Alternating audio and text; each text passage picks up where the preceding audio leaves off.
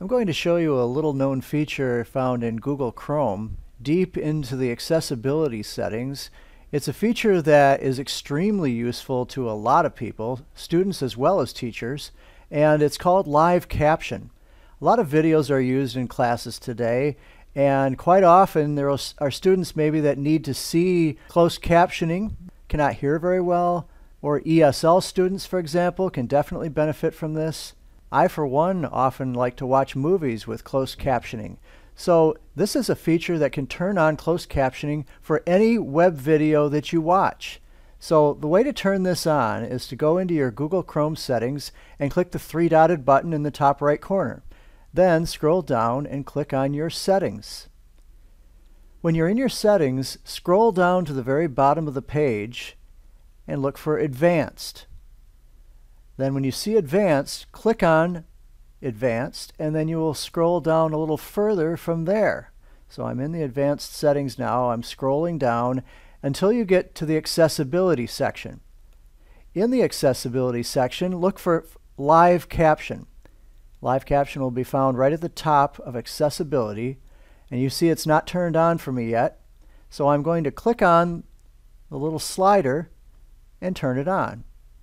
Now that the slider is blue, I know that live caption is turned on now for all web videos.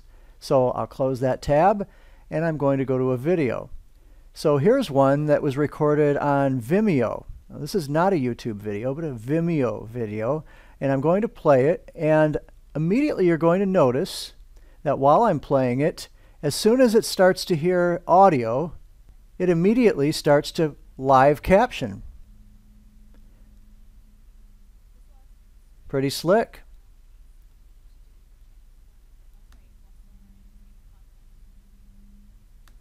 So that's one example of a video from Vimeo that it works on. It also works on all YouTube videos. And while it does not work in a live Zoom meeting, it will work on a recorded Zoom meeting. So here's a Zoom meeting that I did this summer on Google Slides 201. I'm going to play a piece from that video.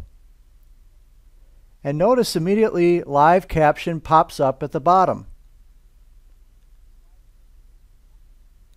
Now it's not 100% accurate. It's spelled meat, M-E-A-T, and things like that, but it is extremely accurate overall and for the most part is far better than not having closed captions at all. Now many people can definitely benefit from this. Here's another example. This is a YouTube video but I'm not watching it on YouTube. But even if I was, I wouldn't even have to turn on the closed captioning at all. You see the CC button here is not even turned on. But immediately live caption pops up. And it closed captions this video automatically. So that's live caption, and I would definitely recommend that you try it out. Students can use it as well from inside their Chrome browser. A lesser known and less used feature that I think is really going to catch on. So check it out.